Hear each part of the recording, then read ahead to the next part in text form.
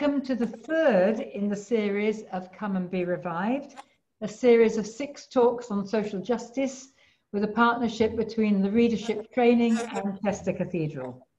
And today we welcome the person who I have been liaising with, the Reverend Liz Shercliff, Director of Studies for Readers in Chester Diocese, and Sharon Amesu, Leadership Facilitator of St George's House, Windsor Castle, and also Chair of the Greater Manchester branch of the Institute of Directors.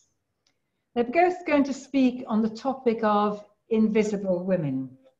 Before I hand over to them, a prayer for us all. Loving God, we pray that we might always see with your eyes the people you have created, that we may notice the poor, the vulnerable, the weak in our society, and all who walk with us who are seemingly invisible.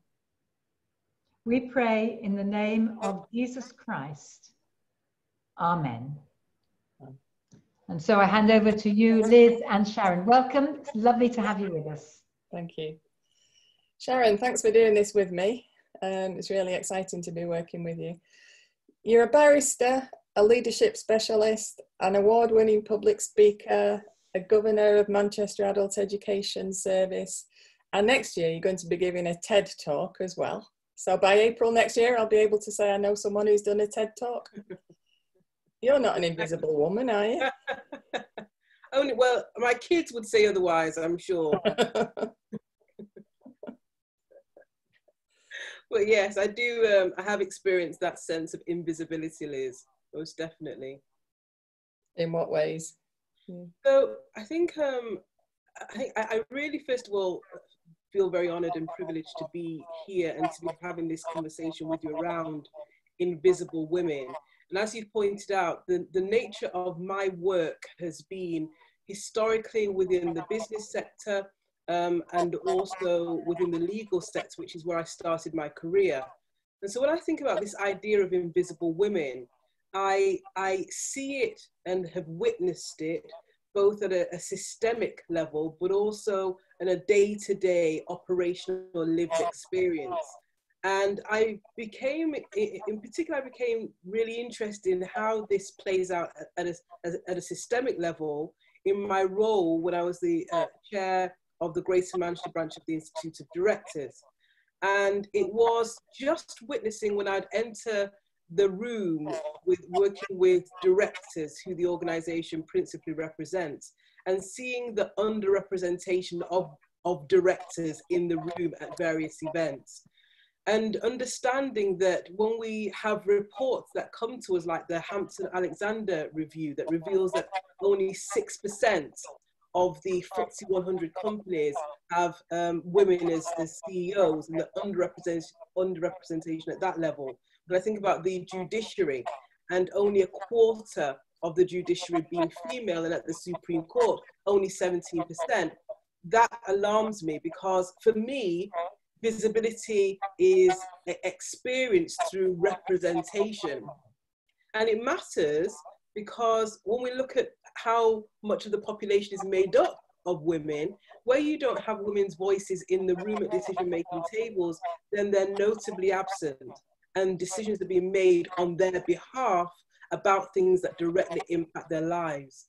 So that's the systemic level but also just day to day as well, Liz. So there's some really interesting research that points to the fact that men, our male counterparts, and I'm not necessarily suggesting that this is there is any malintent on their part, but the research points to the fact that men will dominate a conversation up to 75% compared with our, our, our, female counterparts. Uh, and that often looks like being interrupted and talked over in a meeting and that's when I think about invisibility, I think about voice, I think about being heard.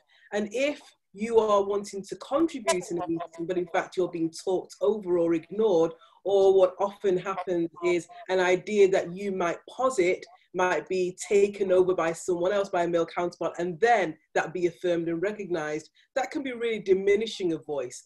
So you see it in, in so many ways, both at the broader systemic level, but also also day to day. But what I am, um, I, I'm most pleased to be having this conversation with you, actually, Liz, because as you know, I'm a huge fan of your book, Preaching Women. And um, what I've loved about your book and the research that you put into this, and your whole thinking behind how within the Christian community and within uh, our understanding of biblical text, how women have women's voices have been silenced. And I, I'm really interested in understanding from you what you see. Uh, why is it so important for women to be heard, and what do you see as the nexus between being heard and being seen? Actually, I think if you're not seen, then you're not heard at all. Um, there's an American sociologist that I talk about in the book, I think, called Michael Kimmel. Um, and he did a TED talk called Why Gender Equality is Good for Everyone. And uh, he talks about being an undergraduate and being part of a conversation with some women before feminism was a, a subject at university. And he overheard a white woman and a black woman speak to each other. And the white woman said, You see, I think feminism is for everybody because women experience things the same way. And the black woman said, Well, that's the problem right there.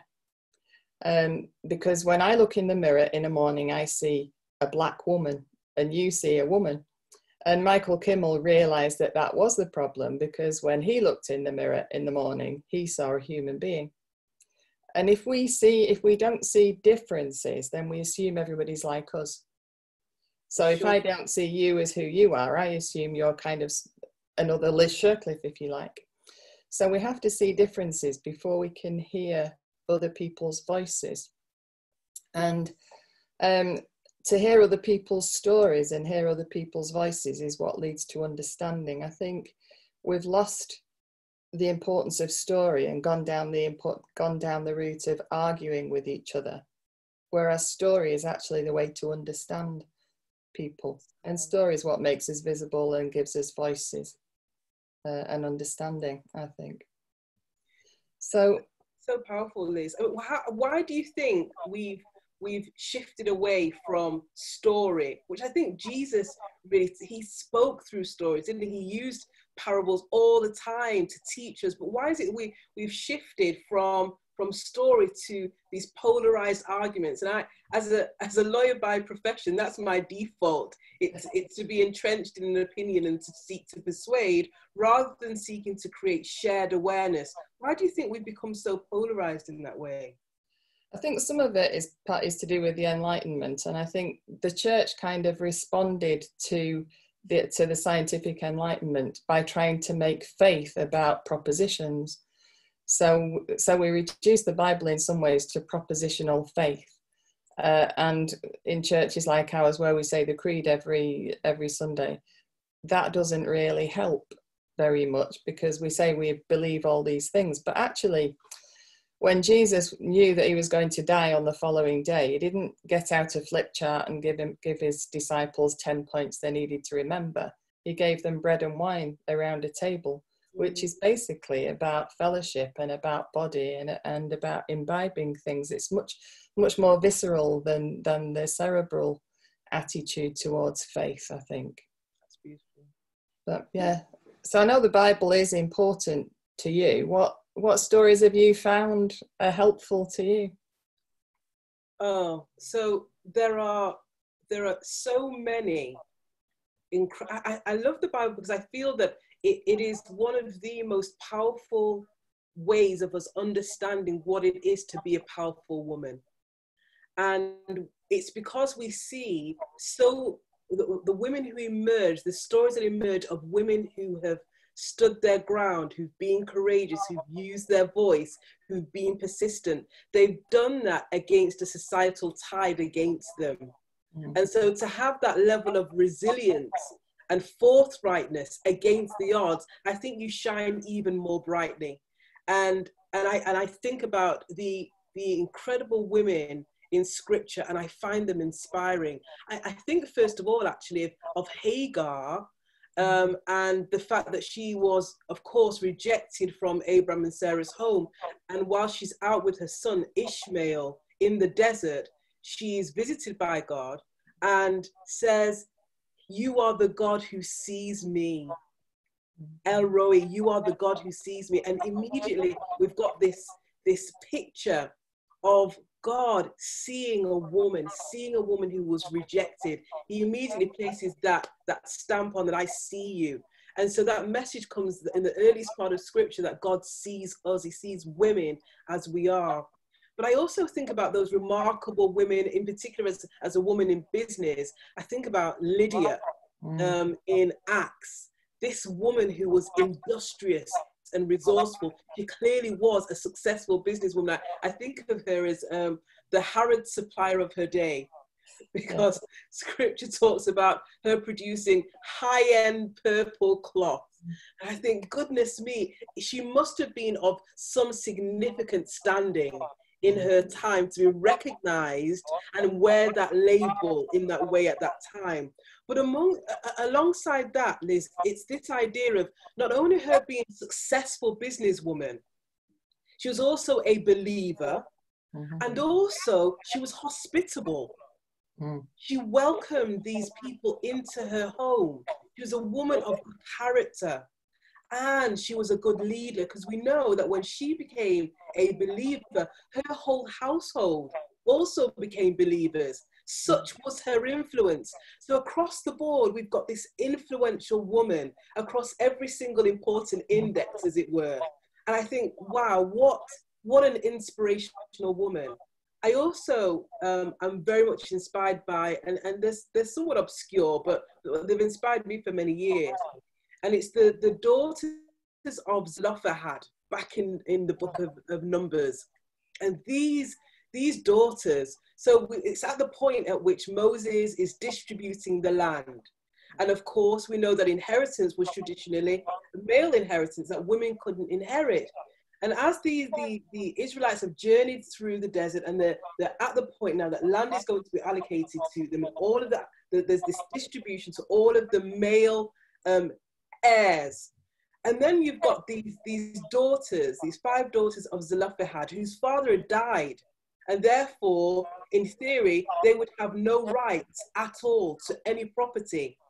And yet, still, they, they make their way to the tent of meeting and they say, Well, we don't have, my dad didn't have any male heirs but it cannot be the case that his name dies out and we are not able to inherit anything.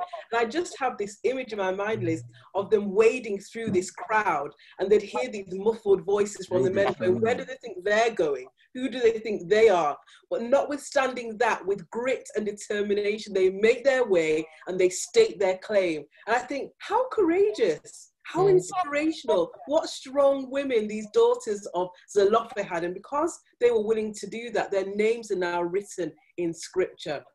And I think there's a, a whole host of incredible stories like that that say that there are women who are willing to take a stand and be visible and do what was right in, in that time. I just think it's, it, it's just wonderful to know I I, uh, I love the fact, Liz, that this whole series that we're exploring with Chester Cathedral is about social justice. That's the umbrella that it sits under. Can you tell me from your perspective, what is the correlation, the nexus between being seen, visibility, and social justice? Um, I think, well, I've, I've been reading, and the, and I and I pinched the title from this book, you know, Caroline Criado yeah. Perez's book, uh, Invisible Women, and she basically is writing about data, uh, which sounds really dull, but it's not. Um, and she comes up with things like some of the stuff that she has done has hit the press sort of in the last year or so. But things like the fact that drugs until the 1980s were never tested on women, they were only tested on men. And so it was a surprise to medics when drugs had a different effect on women's bodies than they did on men's uh, and that was seen as sort of an outlier or atypical rather than something to be taken into account. Yeah. Um, heart attacks is another one. Um, 50% of women are misdiagnosed because they don't have Hollywood heart attacks. You know, they don't clutch the chest and fall over with chest pain. Um, yes. In fact, quite a, a, lot of women who have heart attacks don't have those symptoms. Mm. And yet, as late as 2016, the British Medical Journal said that that was atypical. And, you know, you should still expect to see women with, with chest pains for that. I think more recently, um, PPE has hit the press, hasn't it? Personal protective equipment. And uh, I'm sure we've all seen photographs of how painful it is to wear in hospitals and things like that. But actually, PPE is designed for the average male body. Yeah. And so it's uncomfortable for women. And uh, the same happens actually with um, PPE for police officers. So w- women police officers are more likely to be stabbed because stab vests are made for men's bodies, and because women have got breasts, they raise, and so women are not protected. Um, it's it has struck me with the current crisis that women, it seems, are being uh, most adversely affected career wise and yeah. in terms of stress because women have borne the brunt of balancing work and homeschooling yeah. and all those things. And yet, the government's advisory committee is entirely male. And so there's nobody saying, hang on a minute, have you thought about how that might affect so and so? Another example is I visited um, Styal Prison a year or so ago. And at that time, the chaplain told me there was no woman in that prison who hadn't been sexually abused beforehand. And so a lot of the a lot of social justice is affected by the way women are previously treated, I think. I mean, just going back to um, your story about Lydia, which I love as well. I had a friend at college who did some research onto who the women might have been who were the dyers that, that worked for Lydia. And um, the theory that she came up with, and it was quite well researched, was that they might have been ex prostitutes who'd sort of been damaged or been ill, and she'd taken them in and given them work to do. Amazing. And so that was Lydia's charitable contribution, if you like, as well. But it means the first church on European soil was probably entirely women. Wow, how incredible! Yeah, so that's that's really interesting, isn't it? It's very very interesting. Yeah, there, there is definitely a nexus between us, between women being seen, and fairness in and in and equality in society. Yeah, yeah, yeah and, yeah. and if we're not seen, that where decisions are being made about our lives, we won't be mm. heard. Yeah, and it affects the way we read the Bible, doesn't it? Because we women are either you know virgins or prostitutes in the way that a lot of people present the Bible. I think. Um, do you, have you got any tips about how to read the Bible so that you can find women's stories more easily or read them better? Yeah, I think um, for me, well, one of the tips actually I got from your book. Mm-hmm. So I'm, I'm obviously going to be earning some credits here, Liz. Yeah, yeah. today, definitely. I'm on a commission of some description. Of some description, I'm sure. I've shared it that widely, but um, I think it's it's in the forward um, by um, Bishop Libby Lane, I believe. Yeah. And she talks about listening harder, mm. listening harder, and looking harder.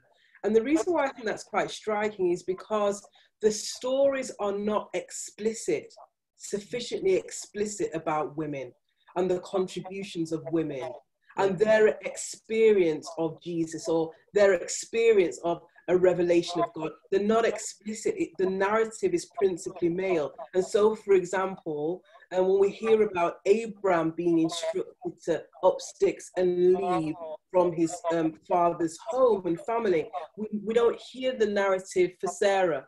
Mm. Like, what did it actually mean for her? And so, what it requires us to do is is really just think about what it would mean and look harder and listen harder to to Sarah's story in that. And and also, what I feel is is helpful for me, and I encourage other people to to do is just really understand that um, God is an inclusive God. Mm. And if we can read from that perspective, that that we that women are the the, the full expression of God in his image, male and female, he created them. So to understanding that and having that paradigm holding that in our minds as we read scripture, I feel that it'll help us to lean in and hear the voices a little bit more clearly. But we definitely have to listen harder and look harder because they they they lack the full exposure that men do in, in scripture. Yeah. Uh, and that I think that leads me on, Liz, to my question of you really, as to why it is that the visibility of women, if at all, why is it that the visibility of women is so important to, to the body of Christ experiencing the fullness of Christ? Um, I think there are two reasons. I think one is missional and one is related to our ministry or our worship. Um, I think missionally, it's very difficult to speak about social justice if you don't speak about gender justice. And it's very difficult to care for women and girls in other countries if we don't care about women and girls in this country. Um, sure. And I rather suspect that the church has been a bit guilty of that. Um, and I'll just, uh, since you've mentioned my book, I'll just read you a bit because I spent ages writing it and it's better to read it than, than say it without, you know. Um, yes, I said, um, we can't denounce ill treatment of girls around the world through FGM or prostitution or low wage or anything else if we tolerate actions and attitudes that marginalize them in our own congregations. We cannot denounce the ill treatment of women around the world if we preach from a Bible that treats them as sources of temptation and sin. We have to speak the truth persistently about sexism in the world, the church, and the Bible. I'm not convinced that we have a gospel to proclaim if the gospel we proclaim does not require gender equality. I don't accept that there can be good news for some, but not for others or that good news for some is more important than good news for all. Wow. So, as you say, I think the gospel has got to be inclusive, and that's it compromises our mission if we fail to make that clear. And from from the point of view of worship, um, somebody put some put something on my Facebook page the other day about God being male, and I thought, you know, he's really, really not. you know, God is God. God is not male. Um, God, God can. Loads of yeah, there's loads of biblical texts that compare God to women, and um, and so I finished the book with saying um, it's not about equality; it's more important than that. Mm. It drives at the heart of God's self-revelation to and through humanity, wow. and God's performative grace in creation. When God's revelation is warped by exclusion or dismembered by suppression, all people suffer uh, and the fullness of God's presence in our lives needs God's activity in both women and men to be manifest. Otherwise, both excluded uh, women and exalted men suffer. So, so I think for those two reasons, we need to get it right. So beautiful. It's so poetic hearing you read it. I've read it myself, but hear your, hearing your own voice, Liz, is so powerful and um, really compelling. Mm. Wow. So, so let some more people into the conversation. Yes, certainly. So, so do people want to comment or ask questions? You do, if you raise a hand and then unmute yourself, that would be good. Looks like Jane, I can see Jane there. Yes, off you go, Jane. Can I just mention two things? First of all, Trevor Dennis's book and Sarah Laughed. Uh, he was our former vice dean at the cathedral and a committed feminist, and his book picks out women's stories in the Bible that are often overlooked. So it's well worth a read. I mean, he wrote it a long time ago, uh, mm. but it, is, is very well worthwhile. And also, this month's Good Housekeeping magazine, no, get the right picture, got a black but um, there's an article by um, Sarah, uh, got the right name, um, June Sarpong, and she mentions five inspirational black women worth knowing a bit more about. It's Black History Month, apparently, in October. Uh, so she mentions Sojourner Truth, Harriet Tubman, we, of course, we've, we've heard of those two, but Madam C.J. Walker, first female self-made millionaire in America of any race, made, became a multimillionaire selling hair products for black women. Yes. Um, Yaa Asantewaa, she's my favourite, Yaa Asantewaa, uh, Queen Mother of the Ashanti Nation uh, Empire, and she took on the British at the age of 60 and won. Um, and Shirley Chisholm, who was the first black person to run for the Democratic Party's uh, presidential no- nomination. Mm. Uh, so um, that, that's we were asking last week, what can we read, what can we do, what can we find? And those five women um, are mentioned in Good Housekeeping, not necessarily the first place you'd go to turn to. No, no. Inspirational black women, but it's there, black woman on the cover, and this lovely article by June Sarpong. Thank you, Jane. If, um, if anyone's got Netflix, um, the, yeah. the, the documentary about Ruth Bader Ginsburg is very well worth a watch. It's very inspiring about what she did and how she coped with um, bias and misogyny and everywhere really when she started out. So that's another inspiring woman. Yeah. And Madam C.J. Walker as well. There's a a series that's based on her life on Netflix as well, which I'd highly recommend. Mm. Great story. Thanks for that, Jane. Jackie had her hand raised, I think. Thank you. Sorry, I, I just wanted to emphasize the importance of this question. Um, I realized that my journey led me to Quaker tradition because I had a very strong, I didn't realize it, but that was probably because of the equality I felt of women, which wasn't recognized in the Anglican Church when I was younger.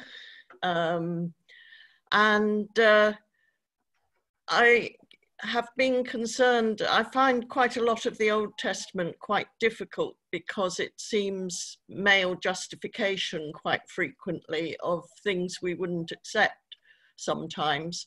Um, but there's also the question of how women continue to be, but have been written out of history, including the Bible. I, I believe the first apostle to Rome was a woman.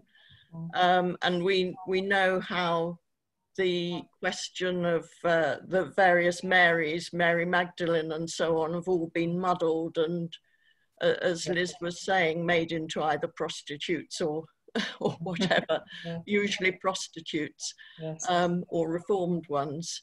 So uh, yes, I, I just wanted to say thank you and uh, I will try and find your books at some stage. But I'm, I'm even conscious within the Quaker tradition. Um, I mean, we were very fortunate to have Margaret Fell early on who um, kept the networks going when the men were in prison very often.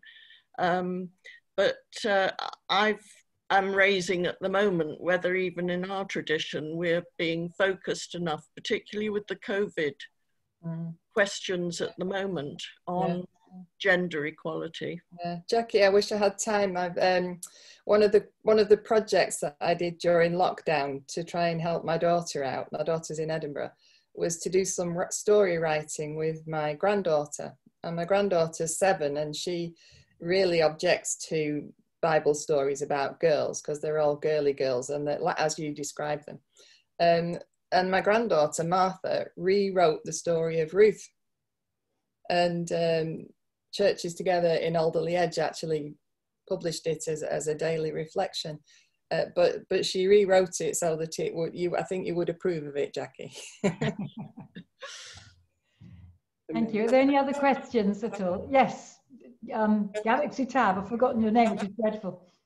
You have to unmute first, though.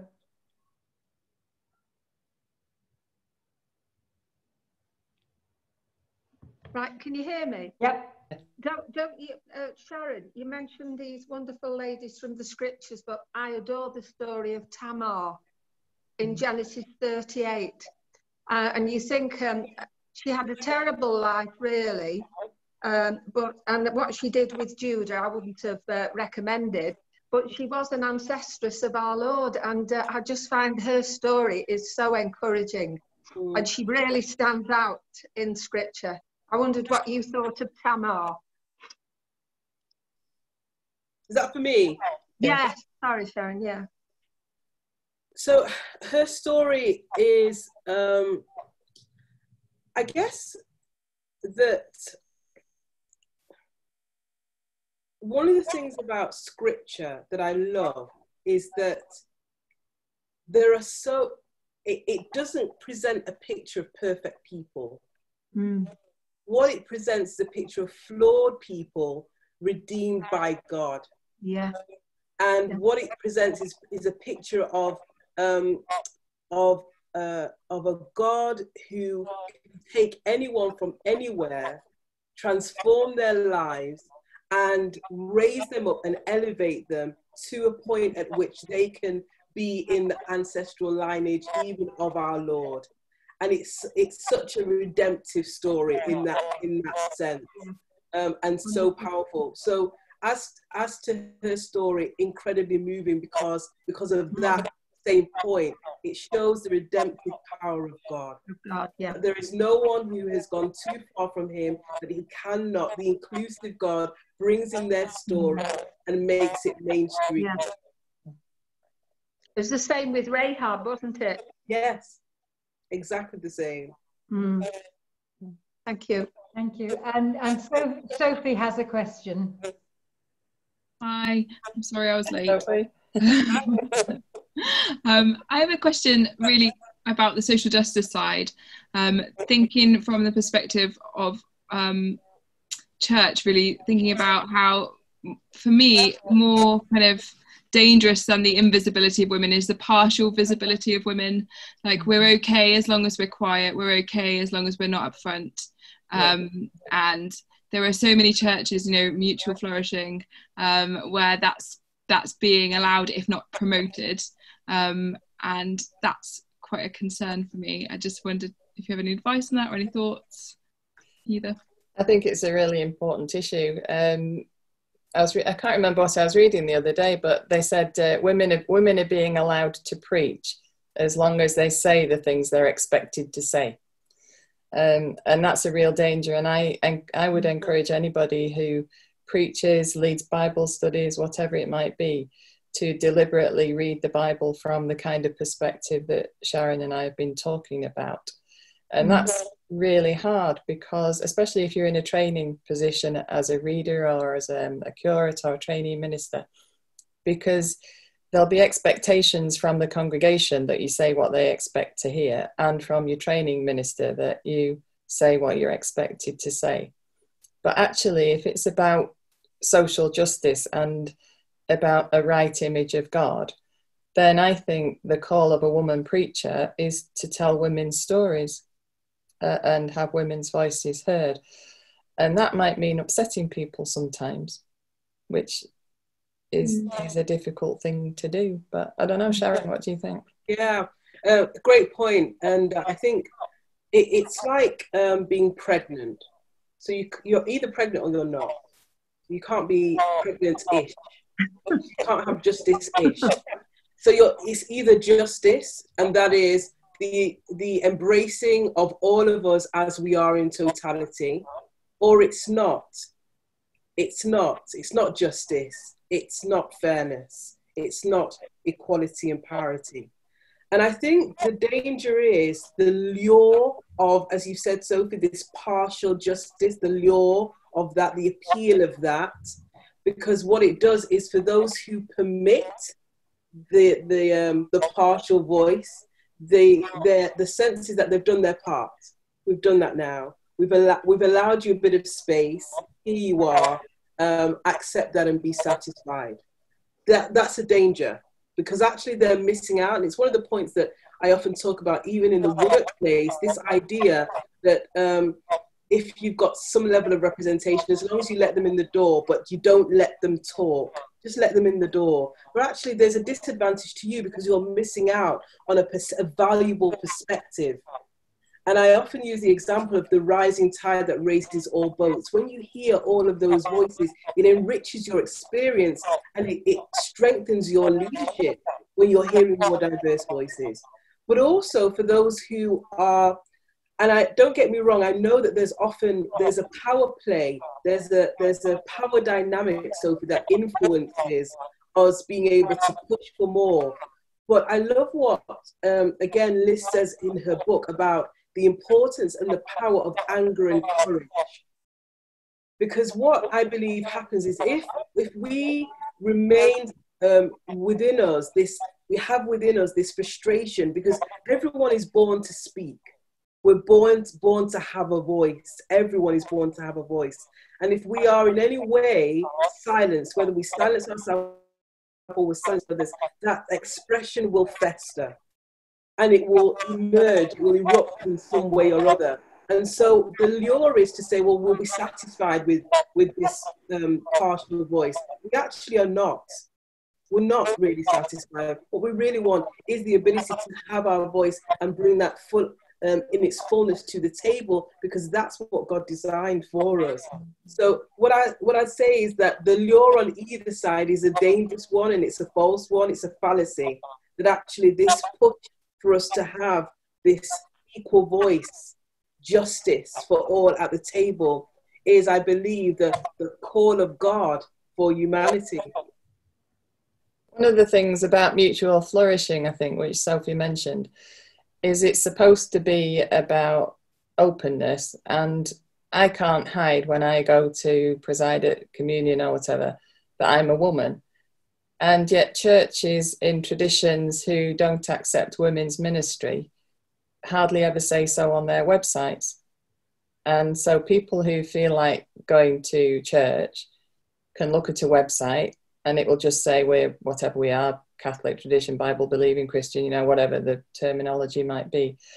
And nowhere is nowhere does it openly say, and by the way, we don't accept women's ministry. You have to find that out. And yet on the other side, a church that accepts women's ministry can't hide because it's got women in ministry, usually. Thank you. Thank you. We have time for one final question. Yes, Terry, if you unmute yourself first, Terry. I'm being brave in speaking. um, two, two things. First of all, I believe so much in inclusive God um, and have done for a long time. But I suspect that me, and other males, have been part of the difficulty in not speaking up, silent male. And I think it's the same thing with white people in the race issues. The second thing is, I really struggle, struggle with in church speaking, praying to God, trying to avoid the male which comes out Sunday by Sunday by Sunday, the Lord's Prayer, for example. How do we, how do I deal with that? the New Zealand prayer book's very good, Terry. Uh, that's much more inclusive.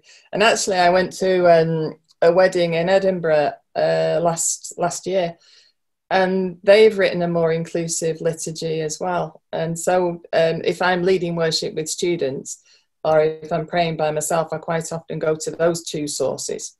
Um, and if I'm preaching, I try I, I say God or God's self or repeat God or whatever it might be, uh, or alternate between he and she, uh, which is a bit clumsy. But I can't think of. We, we're stuck with the English language, aren't we? but I'm, I'm uh, writing another book with a friend of mine, Kate Bruce, which will come out next summer, um, about women in the Bible that we don't often hear about. And one of the things I was quite keen to do was to have a chapter about woman wisdom from Proverbs, because uh, the Bible talks about woman wisdom being there at the beginning.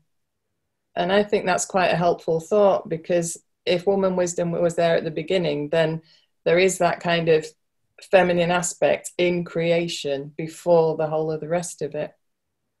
Can I conclude by thanking you both Sharon and Liz very, very much for helping us understand and think through some of those issues. I hope that you've all been inspired or challenged or irritated to change your minds in some way or another. Uh, thank you very much indeed. Next week, we have Professor David Clough, who is the Professor of Theological Ethics at the University of Chester, and he's speaking on Christianity, animals, and the climate crisis. So do join us then. I'll be sending out another link for you for next week. So thank you very much for coming, everybody. Lovely to see you.